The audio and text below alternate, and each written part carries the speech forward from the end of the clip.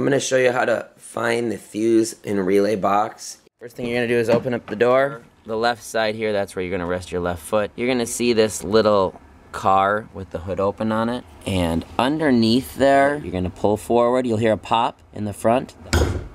You're to open the hood, pull them down, slide to the left. And this opens right up. Now after you've opened the hood, what you're going to do is you're going to come to the car. You're going to look to the right here. You're going to see the battery. And right behind the battery, that black box right there, that's the fuse and relay box. I'm going to show you how to open that.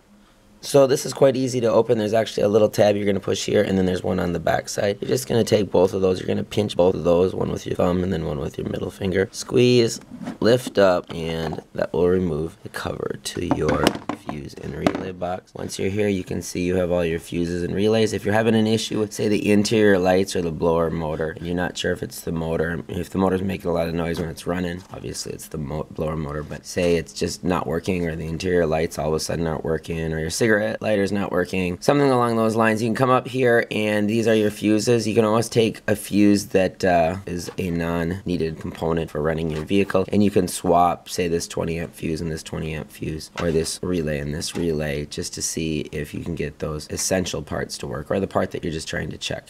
And then another nice feature is on the bottom of this cover there's actually a diagram for all the fuses and relays. So now when we go to put this cover back on, you'll see there's a little loop there in the back. We're actually going to put that in the back.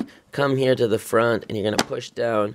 Make sure that that's seated and then I'm going to go around the back of that loop and make sure that that's in there tight. This actually doesn't seat as nice as the most fuse and relay boxes, but that's how you get it back on pull up, make sure it's tight, and you should be good to go.